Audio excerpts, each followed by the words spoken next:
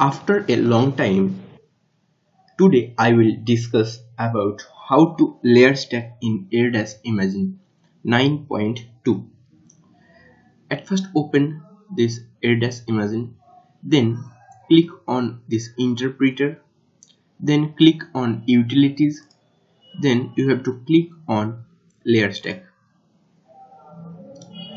After that, this input file click here and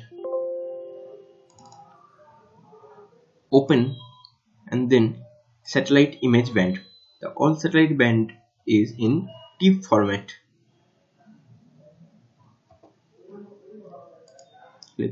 These are the Landsat 8 bands.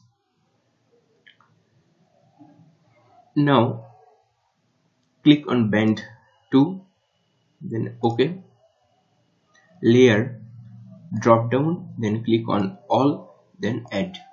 Same process for band 3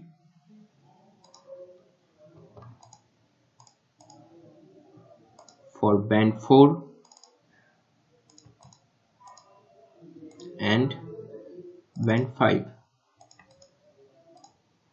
then give a output file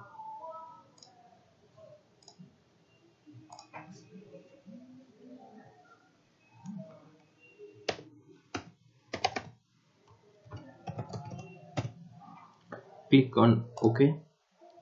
Ok. Then click on ok.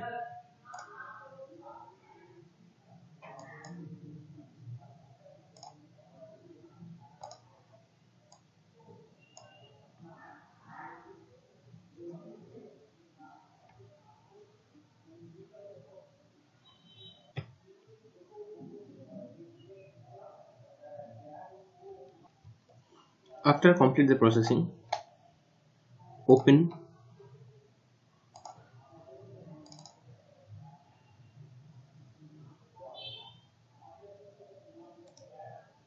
Right click and fit image to window. This is the layer stack image of Landsat 8